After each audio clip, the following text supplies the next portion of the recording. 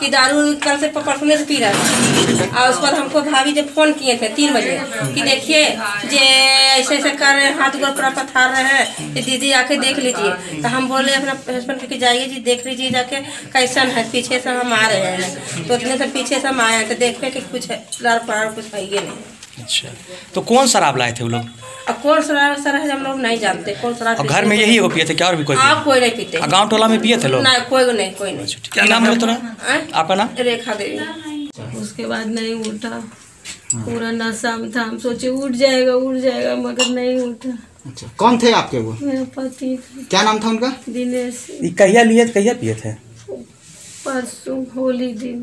अच्छा तो उसके दिन बाद अच्छा तबीयत खराब हो गया था फिर? हाँ तबीयत खराब हो गई अब कहाँ कहाँ गए थे? इलाज के लिए गए थे कहीं?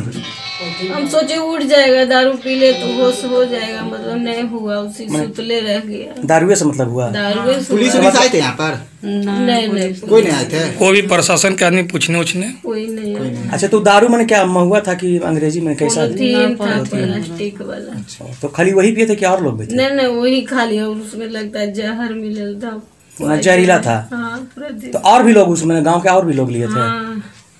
हाँ इधर के और कितना लोग जो जो लिया जो जो भी ऐसे ही पता नहीं उतना क्या जी बोले? मतलब जो भी आदमी पिया तो वैसे ही हुआ यहाँ पर पंद्रह तो घटना हो अच्छा यहाँ आप लोग को कितना क्या जानकारी क्या जानकारी क्या मिल रहा है आप लोग को?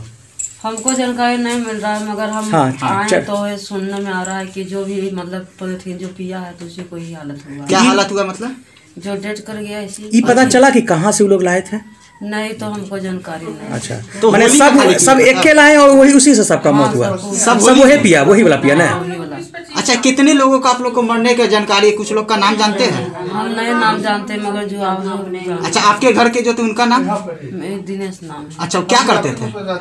वही दुकान में काम करते कहाँ पर? है।